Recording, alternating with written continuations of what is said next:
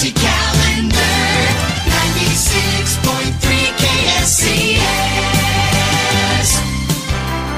Hi, it's Michael. When you talk about branding of any business, radio stations are no different. Radio imaging is one of the key elements that helps bring a brand and the overall sound presentation of a station together, as well as the image portrayed by the business, in this case, the logo.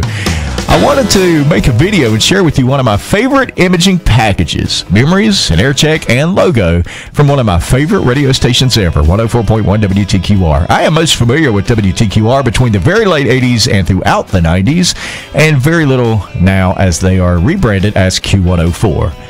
But I wanted to talk about what many consider are the glory days of WTQR, including myself, which would be throughout the 90s. I have a love for this station because this is the station that sparked my radio career back in 1994 when I met the overnight girl, Cindy, and was allowed to do a sit in with her. And we're going to listen to her air check, one of my all time favorite imaging packages, the Star Spangled Country package from TM Century from 1989. Another thing the station had was the logo. And to me, WTQR, up until its departure of the Winston-Salem Fifth Street location in 2000, at which time many people, I think, considered the station to be changing for the worse. But with respect to that, they were moving into a new generation of country music. I always thought that WTQR, and still do, they are the dominant country station in this market. Uh, they are a heritage station. It always was the perfect combination of from their personalities to the programming they provided.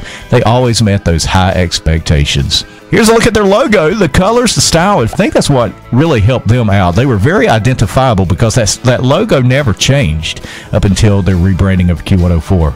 And this is what it looked like. And much to my surprise, you can still see this logo being used at a country station in Alabama, 105.1 WQSB. And while I'm not sure what imaging package they use or ever have, here is the Star Spangled Country package being used on 96.3 KSCS in Texas.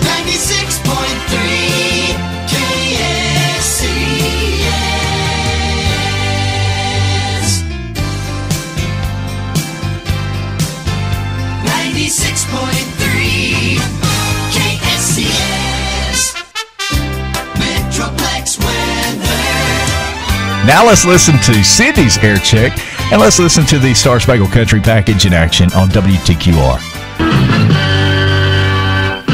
102.1 WTQR is today's hot new country with long sets of today's hot country music played just the way you like it. Back to back with Cindy Taylor at 104.1 WTQR.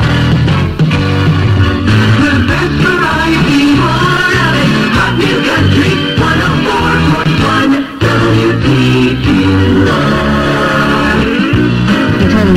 104.1 WTQR. Coming up, we got John Anderson and the hot new one from Clint Black. But right now, it's time to check in with the weather and find out what's happening. Your exclusive WTQR Triad Weather Channel forecast calls for overnight clear skies with the lows around 38. Sunshine currently at 236. We have 68 at the original home of 12 in a row. 104.1 WTQR. Of course, there was a lot more work parts than we were able to hear in this video, but I always thought no matter where you were in the music, it always made your station shine, it made your personality shine. Community calendar, 96.3 KSCS.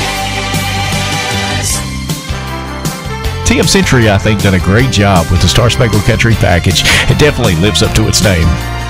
Well, before I finish this video, I wanted to share a photograph with you of the actual WTQR studio from, I guess it was 2001, 2 or 3, while I was working overnights as a board op WSJS at the 5th Street location, downtown Winston-Salem. This was the WMFR studio where WTQR once called home. This is the pretty much the same equipment that was pretty much used during the last period of, W- of WTQR in the late 90s before moving to Greensboro. The, stage, the studio pretty much almost looks the same, uh, but uh, this was the same board used also. However, they used a, the very popular of its time, the 24 channel Audiotronics console before this monster was moved in. and here it is WTQR old studio serving as WMFR's studio. Hope you enjoyed the video. Hope it brought back some good memories for you. You know we love WTQR.